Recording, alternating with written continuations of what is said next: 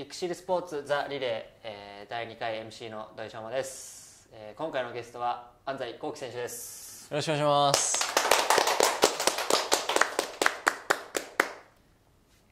これ僕が弾くんですか、はい弾いてください。じゃあこれ。じゃじゃん。サッカーキャリアの中で一番の思い出は？じゃあしょうまくん。俺？は俺い。いっぱいあるじゃないですかもう鹿島で作ってきたんですから。ちょっとないないからこう。え俺っすか？考える。え俺プロはないな正直。プロでねえな。優勝してねえし。じゃあ学生でいいじゃん学生。俺小学校6年の時ですかね優勝した優勝しました。全国大会優勝。おすげえじゃん。小学校の。でしかも鹿島アントラジュニアですよ。決勝が。出てたのあれ。出ました。俺テレビで見てたよ。マジですか？うん。え？出ててでユーマはいなかったんですけどもうみんな俺と同い年のやつらやってうん。で延長で2対0で勝ったんかな？確か。あったなあったね。それが初めてのアントラーズとの公式戦の試合だったな。優それで優勝したと。勝しました。どこやってたの？俺ボランチやってましたねその時は。小学校6年の時は。ずっと？もうずーっとボランチでした。へ俺えいついつサイドになったの？サイドは高校の時ですね。高1からずっとサイドで。じゃあサイドでプロになったんだ。そうっす。うんじゃあよかったね。ん？うん正解だ正解だ。俺ボランチやってたらプロになってないです俺。プロになってない。だって。キャリアはもうそれぐらいしかない。あれ小学いっぱいあるじゃないですかあその。全然よ俺なんかも優勝してるんですから。う一番の思い出なんだろうな。でもやっぱクラブワールドカップはやっぱそうっすよね。クラブワールドカップっていうかあの J リーグ優勝してでそのまま行ったんですか？クラブワールドカップみたいな感じだったの。もう練習とかしない。ででもずっといたからもう1か月間ぐらいだよね1か月ぐらいもううわきっ。つきついと思うじゃん。はバカ楽しかったもういあいみんな言ってますそれ。超楽しかった。なんかあの時のメンバーとか、まあ、スタッフとかの雰囲気がめちゃくちゃ良くて、マジですか？だからそのままもうこ上り調子に、勢いで決勝まで行ったじゃん、うん、もう勢いでこうガあれみんな言いますよね。ユーマも同じこと言ってましたよ。最高だったねなんか。普通きついじゃないですか1か月も帰れないってなったら、しかも中2日中3日とかで試合こうやってたからあマジですか。体的にはきついんだけどなんかもう楽しさのがそれも上回超えちゃって。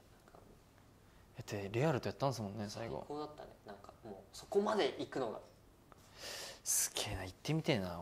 俺1か月帰ったら俺マジホームシックになりますよ。絶 対無理俺だったら。それかな俺は。はい。いやいいっすね。あいいじゃん。自分の性格で直したいところは？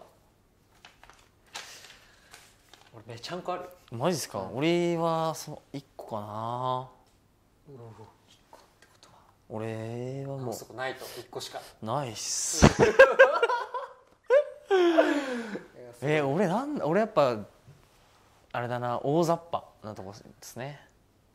めちゃめちゃ適当なんでいろんなことが。それ何直したい？まあ直したいっていうかまあ直れ直ればいいかなじゃんそんなっていう直さなくても。マジですか、じゃあないっす俺。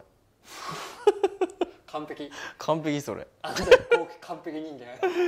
難しくないショックあります？だって。俺？俺人見知り。ああでもそうかもしれない。俺キャンプぐらいまで翔くん喋ってなかったてかわ俺ねもう多分新加入選手とかね一人も喋ってない多分そうっすよね。あ松田さんぐらいで俺喋ってた俺そうだ翔くん喋ってなかったわ最初。なんかね一対一で喋れない。何ですか？なんで？人見知りだか 俺そうそうそうキャンプで喋ってなかったわ翔くんらいやなんかねカズマとかね俺はんもういもうずっと喋んなかった。あ喋って見たことなだかった見たことないでしょ。あ最近だもん喋るようになった。あそうだ。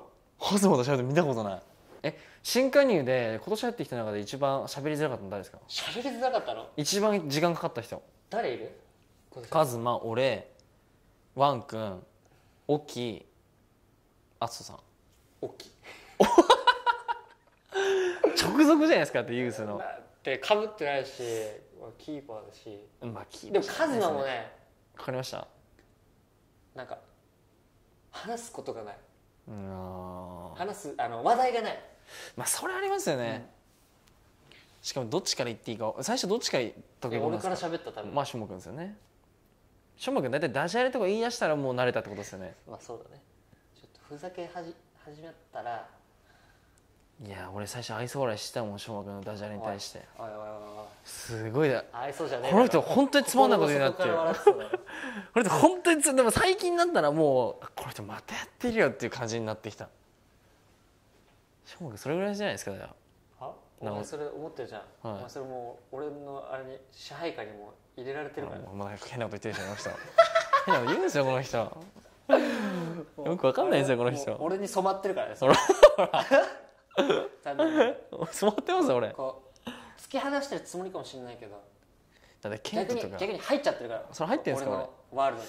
ケントとかだってもうシカトしてるもんなあいつ7 割シカトじゃないですかケントは。一番仕方うまいのが誰？伊藤幸俊が一出た。伊藤いあい君つも最初は若い俺が1年目2年 ,2 年目の時はうんちょっと笑ってたのに、今どんな感じなんですか最近はなんかもうもうねなんていうんだろうね。もうなんでもないみたいな。俺喋ってないのと一緒みたいな。伊藤君すごいわよもう本当にうまいっすねそういう黙の々と普通に自分のなんか作業するみたいうわもう慣れちゃったんですねじゃーんぐらい言ってくれればいいじゃん。それもない。なんか。ああもう何もないですか？ピクリともしない。なんか。まあでもそこまでいくとでもすがすがしくないですか？もうあこいつもう普通にフルシカトしてんだなってそうそうだから俺はなんか BGM みたいな感じでこ喋ってう喋ってるだけですよね。るだけだから。そうそうそこまでいったらいいな音も楽う。めちゃくちゃっすね。これ大丈夫ですか？これで。これででこの感じでいいですねで俺の直したい性格どこだっけ？なんだっけ？だからそれじゃないですか？あ人見知りか。人見知りかはいじゃあいきます。はい。頼む。おお人生最初のデートは？これいいんじゃねえか？覚えてねえし。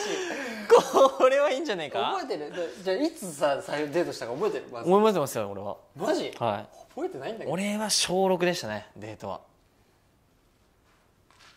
しょうまくんは覚えてない。ええ嘘ですよ。一番最初でしょ？多分視聴者欲しいっすよこれ。このしょうまくんの昨年イケメンランキング1位の最初のデートいねらねえだろ別に。めちゃめちゃ欲しいっすよ。いないいないいない。いないコンケのだけでいこう。俺小6の時にあ名前は？名前って名前えっとはるみちゃんって子なんですよ。あこれ言っていいんですか？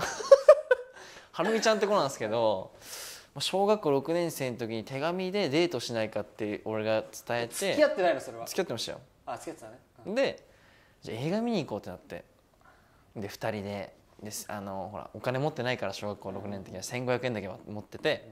で1000円のなんで1500円だ映画のチケット買って。で500円でポップコーン買って。で2人でポップコーン食べながら最高やな。最高でした最よ映画館の中ではもう全く一言も喋らずポップ映画館はポップ映画見るものだから食べるとこじゃないポップコーンだけを食べてで出終わった後に2人でえ手つないで帰ってその2週間後に振られたんで 相当デートがやばかったって。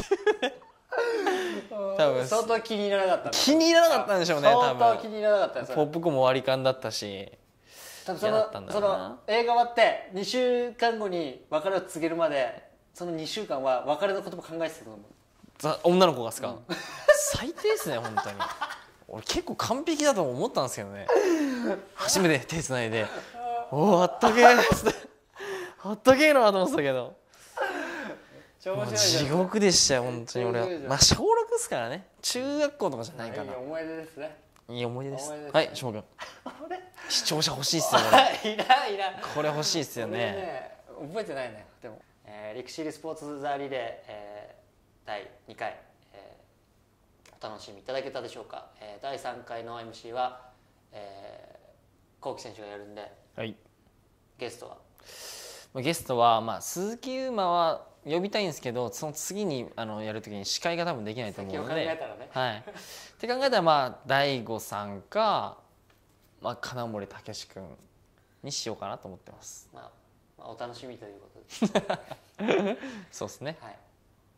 これで終わりますありがとうございました。